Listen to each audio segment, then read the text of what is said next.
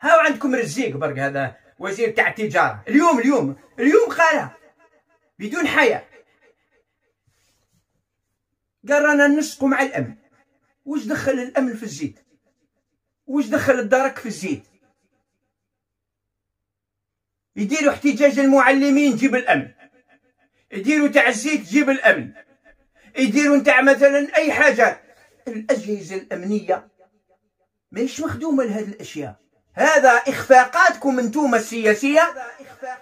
كيما تنجموش قاعد في البيرو وزير قال اسمع عندنا الزيت روح جبنا فلان روح جيب كذا روح جيب كذا. ما تعرفش باللي الأجهزة الأمنية لما تكسر عليها الطلبات من هنا ومن هناك يولي عندهم عندهم الضغط ولما الضغط اللي يجي قدامهم يكراسيوه هاكم تشوفوا أنتم شرطي في باب الواد يحكم الكابوس ويقتل الناس.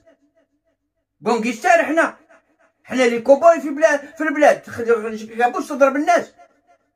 وهكذاك وقال لك لا وهذا كذا. لا لا لا انت رجل أمن مكون على أنك تضبط أعصابك وتضبط أخلاقك وتضبط فمك. قال لك والأخرين قال لك لا لا لا. هذا هذا السيد راه يشرب آه، آه، آه، المخدرات. طيب يشرب مخدرات؟ هذا يشرب مخدرات روح روح نتايا اولا عاقبه امسكوه عاقبه مش تقتلوا بالرصاص قدام الناس. تضربوا في فمه وتزيد له في ظهره. لا لا لا مش عذر هذا. لا يستفيد من الظروف المخففة. هذا قتل عمد. تجبد السلاح تاع الدولة تضرب به الشعب. أنت لست امينا. بلدية يجيبوها الشباب. يروحوا يتحالفوا اصحاب المال.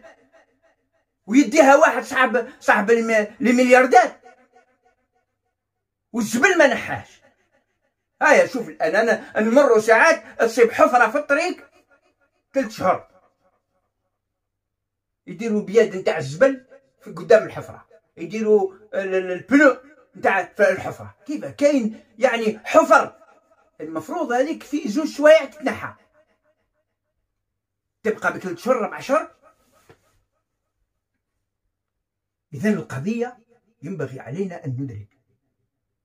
نحن لماذا نتكلم هذا؟ لأننا نشم بأن هنالك شيء سيأتي. نشم عندنا حاسة.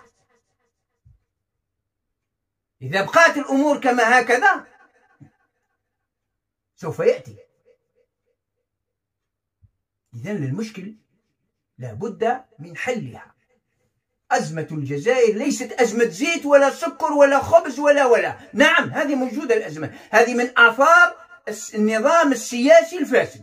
بنى عليه فساد اقتصادي وفساد أخلاقي وفساد اجتماعي وفساد كذا. إذا لم يصلح النظام السياسي قد واحد يقول لي مثلا هاو على الغرب.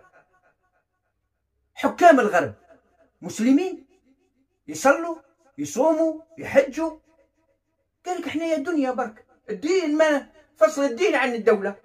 إحنا نقوموا بالدنيا نتاع الناس. أكلهم شربهم عدلهم الطرقات نتاعهم الصحة نتاعهم آه النشاط الفكري الثقافي. هذا هو. أما الدين تحب تصلي صلي. تحب ما تصليش ما تصليش كذا. يعني هذو الكفار قايمين بدنيا الناس. أنتم لا تقومون لا بدنيا الناس ولا بدين الناس ولا بأخلاق الناس. أنتم عالة على الشعب الجزائري. حكام تاع العرب.